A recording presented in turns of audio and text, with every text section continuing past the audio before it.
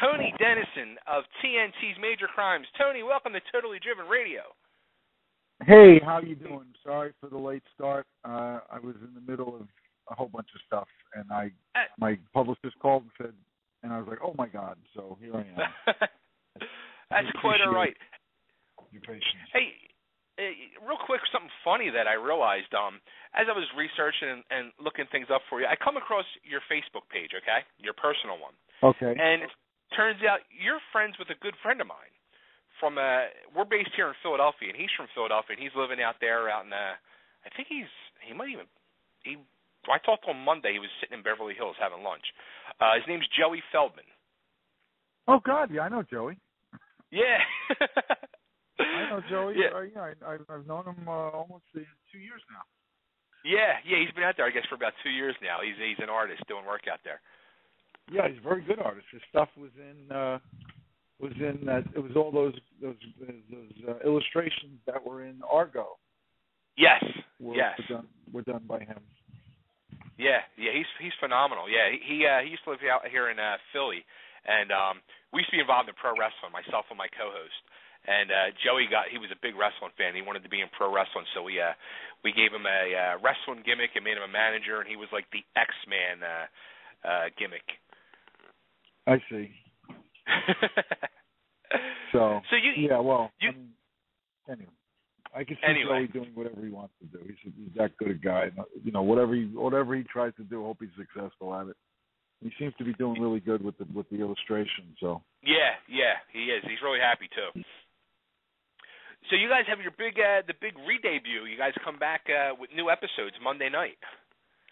we have our big yeah Monday night, um, and it's our it's our I guess you could call it the winter episodes, um, and there'll be nine of them. So for the next consecutive Mondays, nine consecutive Mondays, there'll Nice. be uh, yeah, and it's uh, you know there'll be some some storylines that uh, were hinted at in the first uh, ten, the summer ten, and uh, you know there'll be um, sort of picked up on a little bit in the in these episodes, and there's a lot of stuff in terms of resolution for some ongoing investigations, and you know, and it's again, it's it's this really cool group of guys and women and men who were doing this other show for seven years and now have gotten the opportunity to continue to play these characters.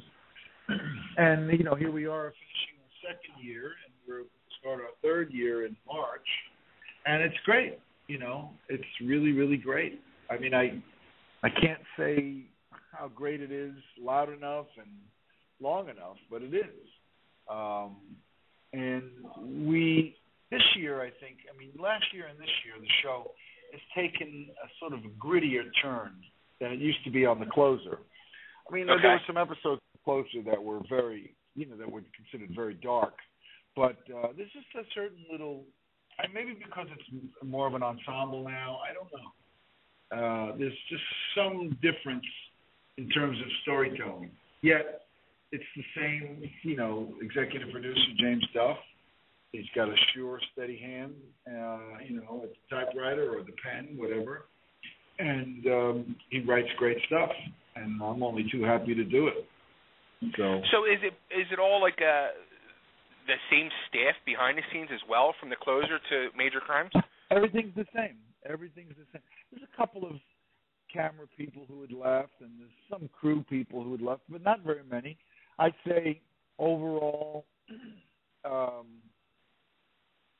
excuse me, I'd say there's at least 85% of the people that were on the crew of the closer are still on the crew of Major Crimes, maybe 90%. Wow. Wow. And um, of the cast, we lost four principals, and uh, and we carry on, Very which nice. is you know unheard of. You know, to lose four principals from a show right. and then carry on, and then not only stay on the air but get even greater numbers than the show before got. Now, has there ever ever been a show um in a similar situation as that, and then where you guys have the spin-off, which I think was something great that was done, where uh the final, the series finale of um the closer was your lead-in to the new series. Yeah, no, I don't. I don't know of that ever happening. To be honest with you, I think this is what you know. James Duff said that this makes us unique. That this sort of situation didn't happen before. I mean, there have been um, there have been shows with characters have made a crossover, um, but it was always like a different show. This is the same show, only with a different name. Right. So I mean, we still solve crimes in the interrogation room. We're all we're all still like you know case closers. We're because we're this you know major crimes unit, which is an elite unit, and uh, pardon me, we're very good at what we do. Now, in your career, you've played both sides of the fence, where you've played a detective, a police officer, and you've also played a mob guy. Wh- which do you prefer yeah. to play? Uh, I, you know, that's a good question. I, I, I like, I really enjoy playing a lot of the gangsters that I've played. I mean, obviously, I got my break doing Crime Story, and and that gangster was, you know, for me, you know, it's like it opened up the, the gates of Hollywood for me. Um, but I've enjoyed. See, you know, the thing that's interesting is like when you play a character, uh, whether he be a gangster, uh, you know, criminal or crook, I mean, or a cop. You know, the, the thing is, what your character is asked to do. Like, like for example, Lieutenant Flynn. He is the kind of guy who will go right up to that edge, you know, and on the other side of that edge the ends justify the means, you know, but he doesn't cross that line. He goes right up to that line, and he gets as close to it as you can that as an actor, that's exciting to play. You know, when when you're playing a gangster, he can cross the line. And he can say the ends justify the means, and then it's you know it's the repercussions of it and how that person deals with it is I find fascinating as an actor to play. Uh, but you know, it's wonderful to play a guy who crosses the line, and it's another, another thing to play a guy who doesn't. I mean, sometimes there's some cops who cross the line, you know, and right. you deal with that situation. And you don't ever, I guess the key is, well, at least for me, is I don't ever play a character, gangster or, you know, or cop, uh, no matter how edgy they might be. Uh, I don't ever play them to have the character be liked. I only play them with the idea that I hope that they're understood. That, you know, based on whatever that character's reality is, whatever his world is, this is the choice that seemed, you know, the preeminent choice that he had to make, or you know, and I, and I, and that's what I try to do. And and if the character, if the, if the audience likes my character, fine. But as long as right. they say, you know, well, I understand what that guy's going through, then I've succeeded. Now, you know, here's whatever question two. Um, police detective shows, cop shows. I mean, they've been around for so many years, and yet it seems like they're still like every network will have one of their own but they're always, right. for the most part, pretty successful. Yeah. don't don't do you think like uh, you would think like people would get tired of it, but people it's I guess it's like a car accident where people just can't stop watching them. Yeah, I think I think the reason why you can go back even to the westerns where they had the sheriff and you know the white hats and the black hats. Um, right.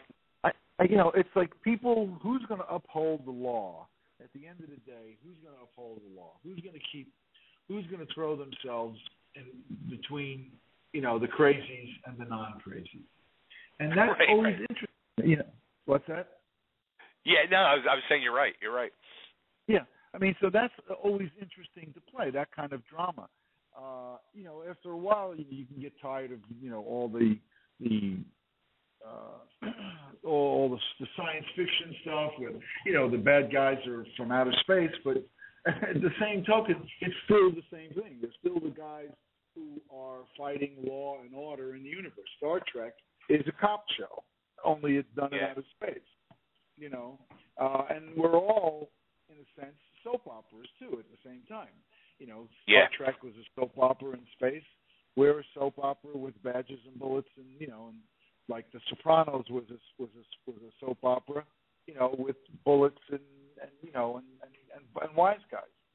It's right. all the same. They're all the same. And if you if the writer and the cast really enjoy what they're doing, and don't try to do this like wide berth.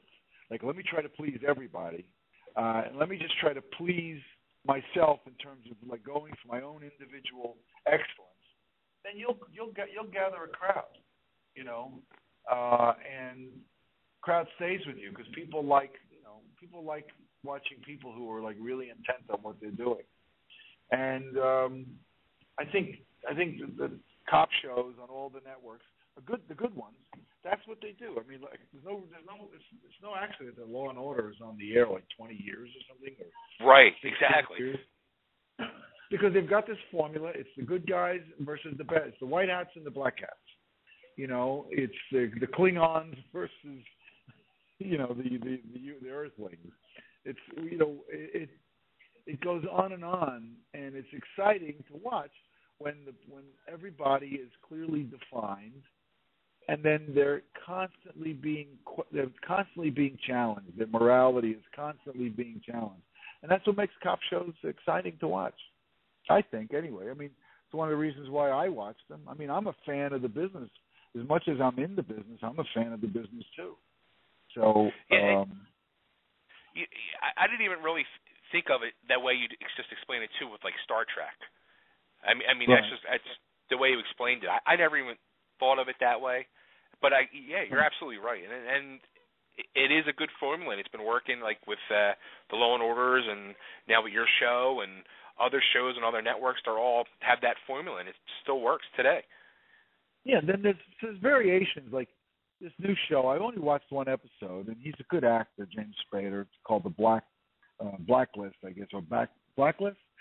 Anyway, yeah. there's, sort, there's sort of a twist where it's not in the traditional sense of the good guys versus the bad guys, but you know what's what's happened over the years now is there have been the not so good guys and the not so bad guys, you know, and uh, but they still are drawn along those particular lines, and the conflict ensues that way.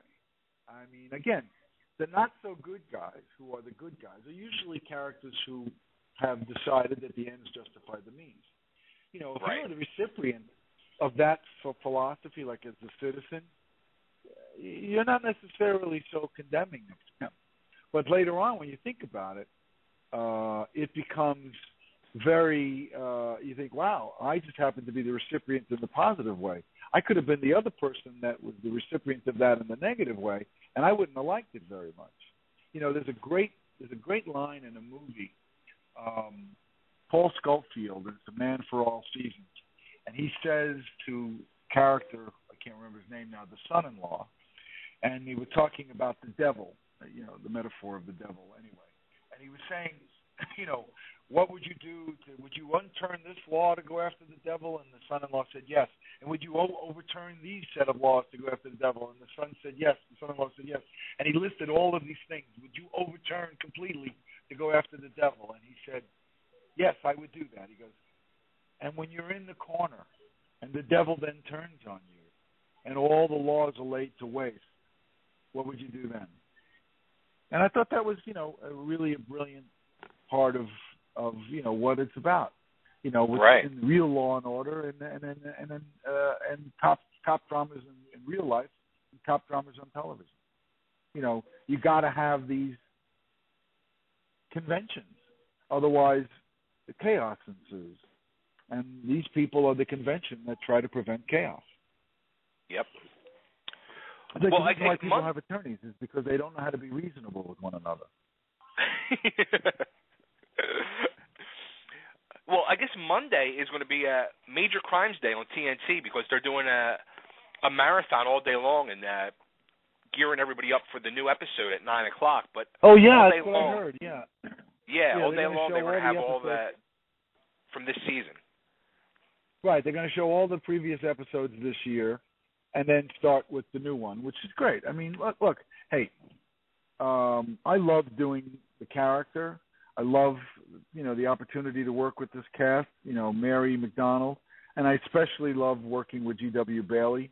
Our characters get, you know, a chance to sort of walk, you know, like off the beaten path a little bit, uh, Right. but still maintain a reality and that's fascinating to play as an actor I really love that, like how you don't cross the line into complete slapstick, but yet in real life there are things that, like to this day, if you're, I mean, whether you want to or not, care to admit to or not, but when somebody you're walking down the street and somebody slips on a banana peel, you you laugh as long as the person's not seriously hurt.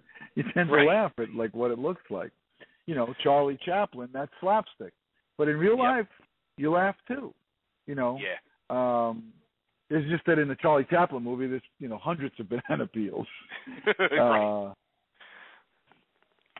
so, but you know, I, again, it's I, I, I'm I'm I don't want to sound like the te- stereotypical actor. Oh, I'm so happy to be here. You know, like in Bull Durham, I'm just happy to be you know a part of the team and want to contribute. But I am. I'm happy to be a part of the team, and I I want to contribute whatever way I can.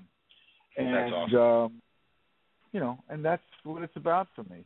I uh, I know that you know, the, the the the thing that happens for us is that our life, my life as, as Lieutenant Flynn, exists between the words action and cut. That's where all my drama and, and danger lurks.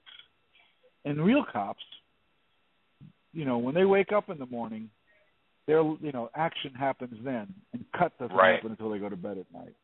So like they're on all the time.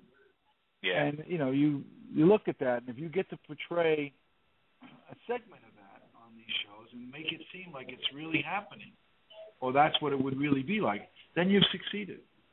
You know, because you can't show cops on a stakeout in a movie or television, because they're, when they're on a stakeout sitting in a car, they're usually on a stakeout for three or four hours. I mean, unless they have some like incredibly clever banter, nobody's going to sit still to watch that. So you have to condense it and put it in such a way that you're true to the idea of what they're doing, but yet make it compelling dramatically, because nothing ha- much is happening on a stage. Right. You know? So the, those those are the those are the, the you know the uh, what's the word the, the things that that like writers do the challenges for them. Mhm. Then as the actor, you, the challenge is for you, you know, to do the same thing to make it be very dramatic and and lively, and sometimes you're just on a stakeout. Very cool. Well, let's uh kind of push for time, but I would love to have you come back on when we got more time and really talk with you some more. Maybe like for the season finale this year. We'll get you back on and talk oh, some more. And please, just yeah. I'll, uh, you, I guess I don't know. We contact my publicist or whatever. I'll tell her that you said that, and I'd Yeah. love to come on and talk about it. And I even with your other guest, uh, I talked to him about like who should own baseball stadiums and that, or stadiums period. I'll, I'll tell you what. Uh, our next guest coming up is uh, the winner of Master Chef. I see that you're like a big culinary uh, expert over there. Well, I, I can cook. My girlfriend Melissa Beaton, she's the better cook, and uh, but I did play a character who's a chef in a restaurant. It was a lot of fun. Um, well, what what's but this? I, I uh, tell you, I you know, what? what's this French toast Italia style with stuffed ricotta Oh, cheese? Oh, Sicilian style. Yeah. Basically, it's, it's made almost the same way that you make French toast, except Okay. there's vanilla extract and there's almond extract, and then there's uh the the bread is is is like loaf bread sliced thick, and inside I cut a hole and I put the the, the cream that you get from like cannolis. I put that Okay. inside the middle of it, you know, and then I put Ah. um, sliced strawberries and sliced um, peaches or whatever, depending on what the person likes. And I add that to the dish. that and sounds you know, incredible. then you go into a diabetic shock after you eat it. Right, but right, it's- right. But it's pretty sweet and good. That sounds incredible. Yeah, so let's let's uh we'll hook it up for uh for the end of the season. Now Monday, everybody's got to tune in TNT all day Major Crimes Marathon from 10 a.m. up until through to 9 p.m. Eastern that night, and then 9 p.m. is the new episode, and then for the next nine weeks we have nine new episodes coming up of Major Crimes. Thank you for the time uh, and Thank the, you. the great question. And uh, and I, you know, I look forward to talking to you again uh, down the road. Yeah, absolutely. And, and I want to thank. I I said this earlier in the show. I want to thank you personally and your PR because it's great to see when a guest is promoting their appearance and they're promoting their. It, it shows they're taking pride in their, their project and themselves, and they're promoting, and their PR people are promoting, and they're doing their job. It just makes me feel a lot better. Well, thanks. Thank you. All right, Tony. Great talking. to you. I- we'll talk to you again in a few weeks. And I'll give. Should I should I tell Joe you said hey? yeah, absolutely, absolutely. Okay, I will. Thank you. All right. Thank Take you. Take care. Bye bye. Yep.